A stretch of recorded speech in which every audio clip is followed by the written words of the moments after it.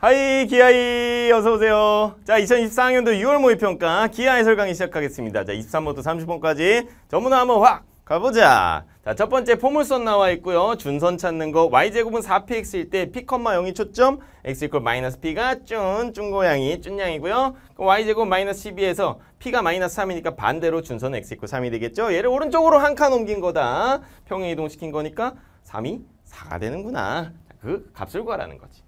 정답은 1번입니다.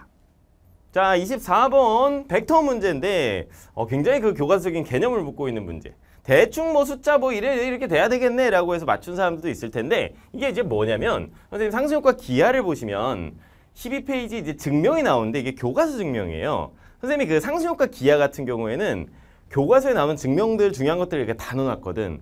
근데 그게 너무너무 중요해. 기하에서는. 그리고 나서 이제 2, 6 들어가게 되면은 벡터를 다룬 다섯 가지 관점 해가지고 그냥 30분까지 쫙 풀어버릴 수 있게 관점 정리 다섯 개 딱 해드리는데 거기 나왔던 이 증명 중에 이런 게 있습니다. 두 벡터가요 서로 평행하지 않을 때 KA 벡터 더하기 LB 벡터 이런 식으로 1차 결합을 했어. 근데 얘가 0벡터야. 이러면은 얘는 K는 0이고 L도 0이어야 돼. 이게 필요 충분 조건이야. 그러니까 얘가 평행하지 않은 벡터들을 가지고 예를 들어서 2, 뭐 3, 뭐 1, 마이너스 이런 식으로 조합을 해가지고 1차 결합을 하더라도 절대 0벡터가 나올 수 없다는 겁니다. 0벡터가 나오려면 이 앞에 이게 0이어야 돼. 실수배 한 값들이 0이어야 된다. 이거 이제 증명을 하고 이거를 외워야 되는 건데 지금 문제에서 보면은 한 직선 위에 있지 않은 서로 다른 세 점이라고 돼 있어요. 한 직선 위에 있지 않은 이런 식으로 이렇게 돼 있는 거예요. 한 직선 위에 있을 때가 바로 평행한 거거든요. 평행한 거 AB 벡터, AC 벡터, BC 벡터 이렇게 지금 한직선 위에 있지 않으면은 다 평행하지 않다는 거야. 그래서 여기서 나와 있는 AB 벡터, BC 벡터, CA 벡터 이런 벡터들이 평행하지 않다는 조건을 준 것이기 때문에 지금 요것과 연결이 되는 거고요.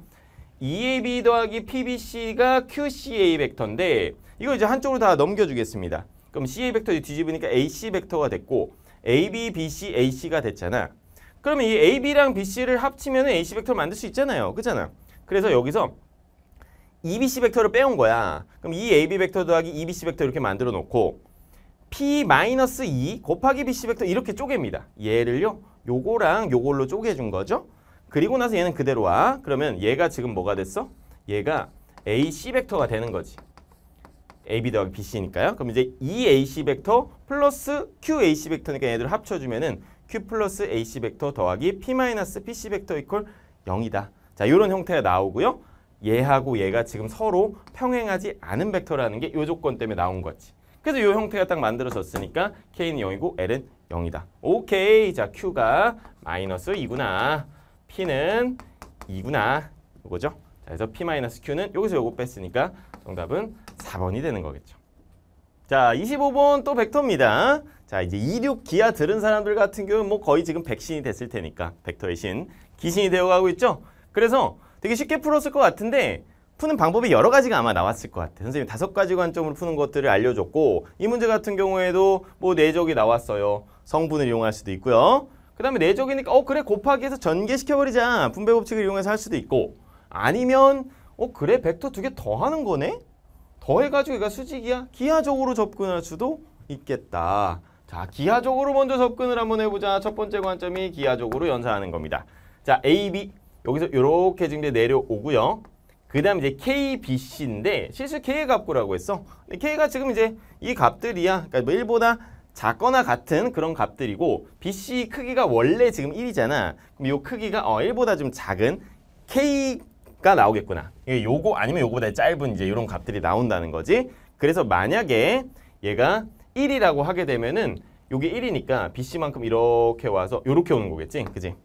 그럼 여기서 일로 오는 이 벡터가 요 첫 번째 있는 요 1번 벡터가 되는 거겠죠.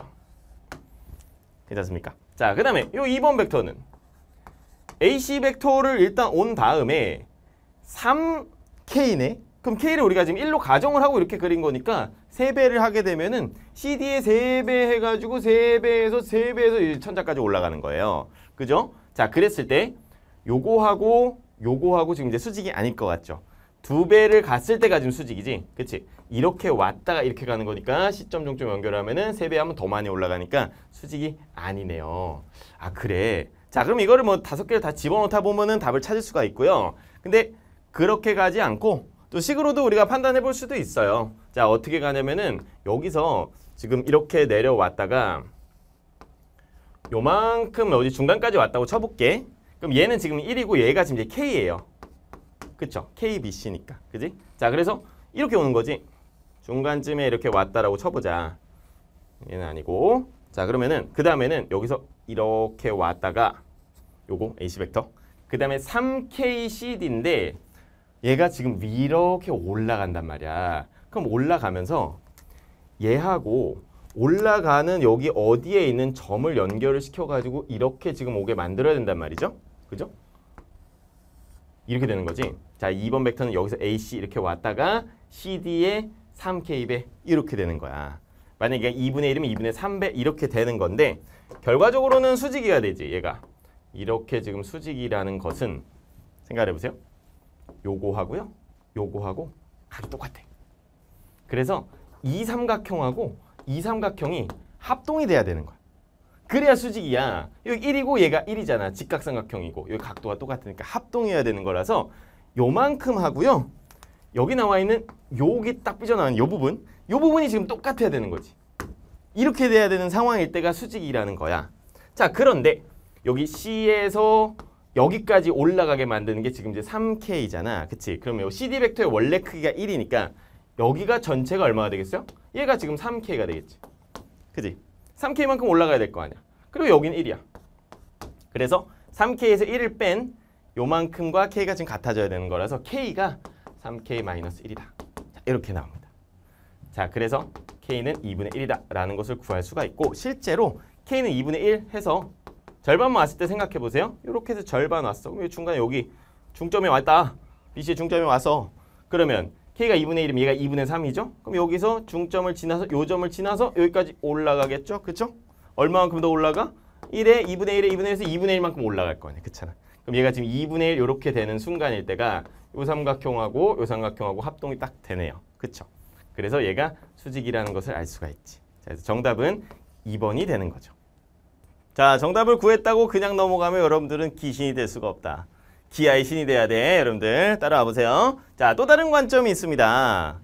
세 번째 관점이 성분을 이용하는 거예요. 성분. 자, 지금 여기서 선생님 좌표가 없는데 성분 얘들아, 성분은 좌표가 아니고 벡터를 쪼개는 걸 성분이라고 하는 건데 오른쪽으로 가는 거하고 위로 가는 걸로 쪼개는 다 이렇게 쉽게 생각하면 돼. 선생님 여기서 오른쪽이 어디 있어요?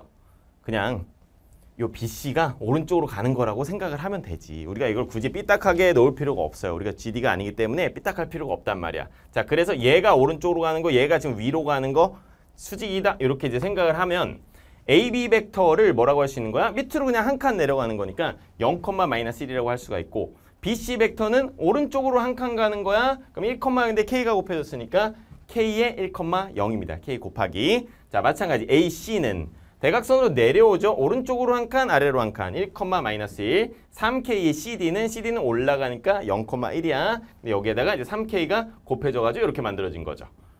자, 그래서 얘네 둘을 더한 게 지금 여기 나와 있는 1번 벡터네. 그럼 이렇게 이제 더했어요. 그럼 이제 K, 1로 나타낼 수 있죠? 얘는 1, 3K-1로 나타낼 수 있겠다.